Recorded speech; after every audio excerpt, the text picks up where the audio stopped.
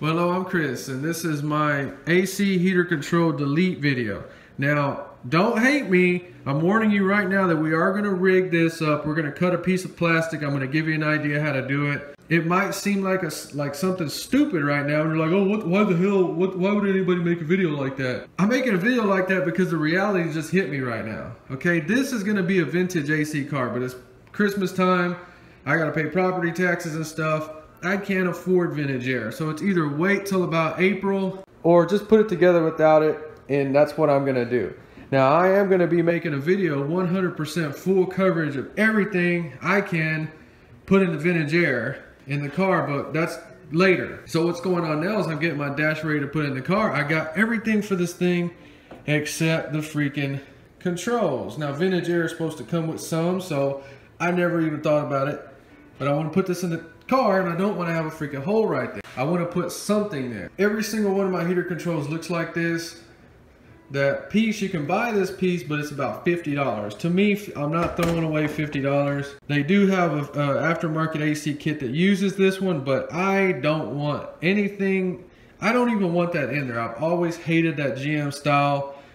I don't want it in there. I want that neat knobs and stuff, futuristic looking vintage air. So don't hate me for hating this. Uh, I'm gonna put my vents right here in the car, so I'm not gonna use that. Just in case you had no idea, they do sell one of these. It's like $45 in the magazines.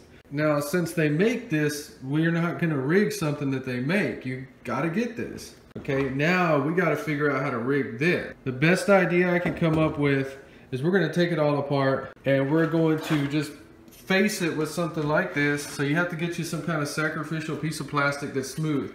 You need to put this in the light you need to make sure it's, see this one's scratched up, but we're gonna plasti dip it, we're gonna paint it. See, the back is perfect, but the back has like those molding things in there. And it seems like it's real easy to find a piece of plastic.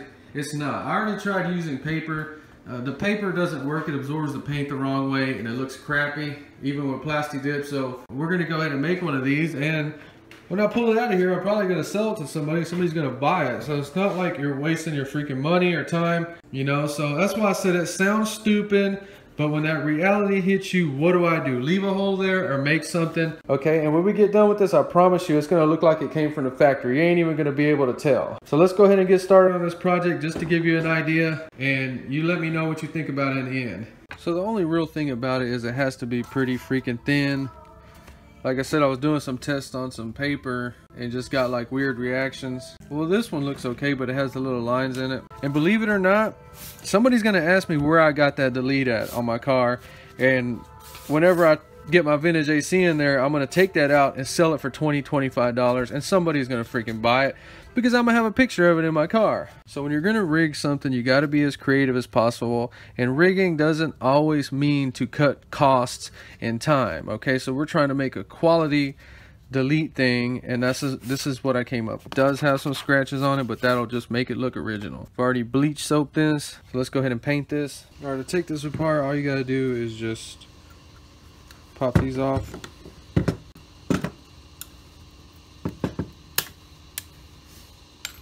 Now you're gonna need to save these. There's four, but one of them's busted off. It don't matter.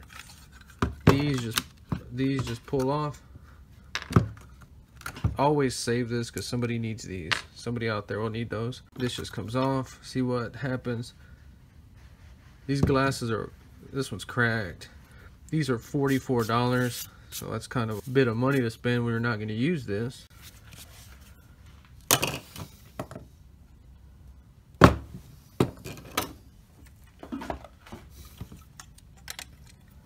So we just take all the little screws off.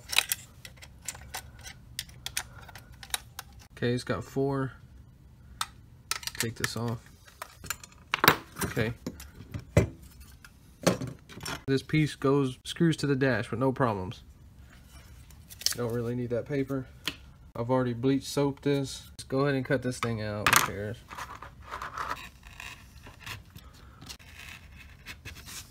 Now you know what? I'm gonna spray with this.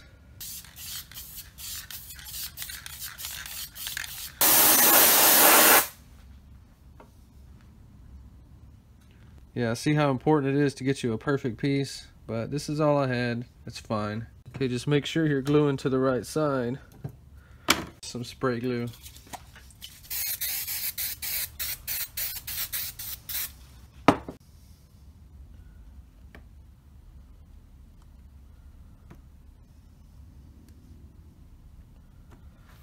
It's not fully dried, so I'm not touching it.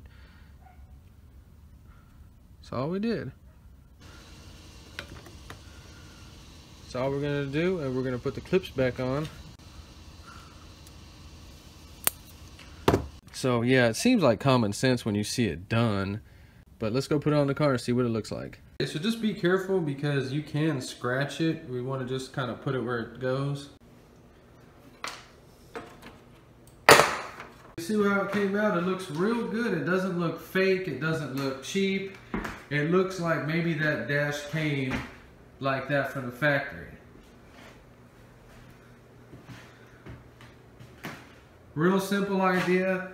It's not just some piece of crap just hung in there. All this stuff is bolted up like it would be from the factory.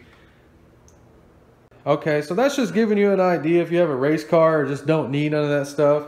I'm going to be running that in my car for a while. Looks pretty cool. It doesn't matter what kind of car you're doing. Took me about 30 minutes to do the whole freaking job. Please like and subscribe if you enjoyed the video and thanks for watching.